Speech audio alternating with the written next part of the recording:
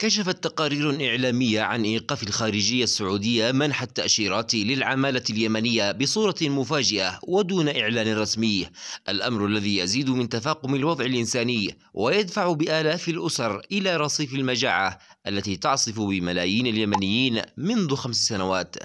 وأوقف مكتب الشؤون القنصلية التابع للسفارة السعودية في اليمن منذ قرابة شهر منح تأشيرات العمل للعمالة اليمنية بشكل مفاجئ وبدون سابق إنذار وكانت السعودية فتحت في مايو 2017 مكتبا للشؤون القنصلية بمدينة جدة للقيام بمهام السفارة السعودية بصنعاء وقنصليتها في عدن بالتعاون مع مكاتب وشركات سياحية في عدة مناطق بالجمهورية لإصدار تأشيرات دخول لليمنيين قبل أن يتم إيقافها منذ شهر. ورفض مكتب الشؤون القنصلية في جدة استقبال جوازات السفر.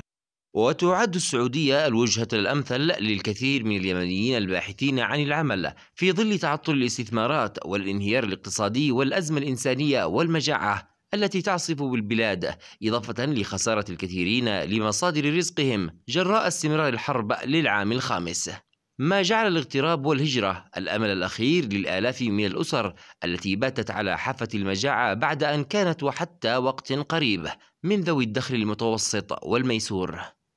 ويخوض اليمنيون رحلة معاناة شاقة ومكلفة. في سبيل الحصول على فرصة للعمل والاغتراب تبدأ في الحصول على جواز سفر من أحد مكاتب الهجرة والجوازات في مناطق الشرعية بمبلغ لا يقل عن 200 ألف ريال ثم انتظار فيزة العمل الذي تكبده أيضا أكثر من عشرة آلاف سعودي أي مليون ونصف ريال يمني إضافة إلى 600 ريال سعودي مقابل خدمة مكاتب وشركات السفر المعتمدة. لدى السفارة السعودية.